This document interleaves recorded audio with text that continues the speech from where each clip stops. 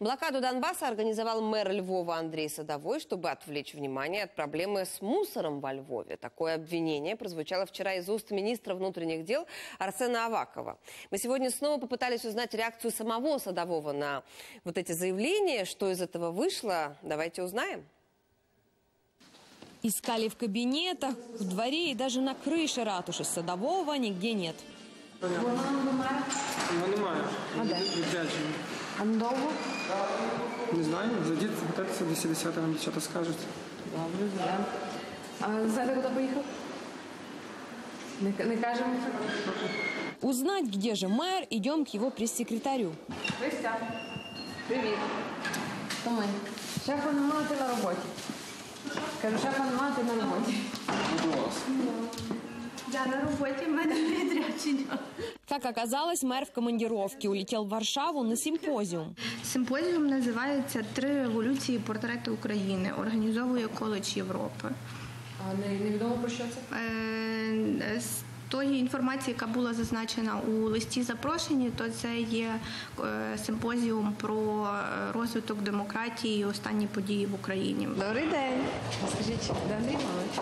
Самый молодой заместитель градоначальника Андрей Москаленко. Без шефа в хорошем настроении. Только сетует. Пока львовский мэр в Варшаве развивает демократию, лично Садового и его команду обвиняют во всех проблемах страны, даже в том, что обрушился Шулявский мост в столице. Оце робоча версія. В момент обвалу на ньому проїжджав перегружений львівський сміттєвоз.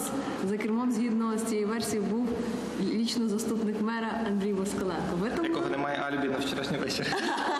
Непонятно, почему львовским чиновникам смешно, ведь глава МВД недвусмысленно обвинил Садового в организации блокады. Обращаюсь э, к уважаемому мэру Львова, господину Садовому, главе фракции самопомощи э, Березюку. Вы начали эту авантюру, в том числе, наверное, из-за того, чтобы не так внимательно смотрели на те проблемы э, с мусором, которые возникли во Львове. Вы будете нести за это ответственность.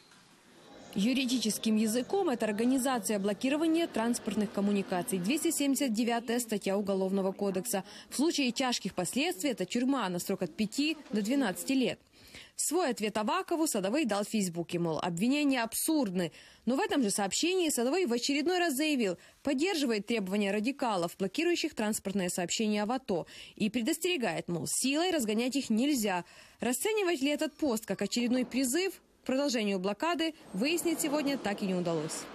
На последнем этаже львовской мэрии самая большая смотровая площадка во Львове. Отсюда даже видно аэропорт.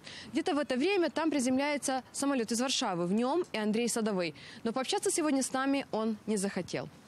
Галина Якушка, Юрий Голубинка. Подробности телеканал Интер. Львов.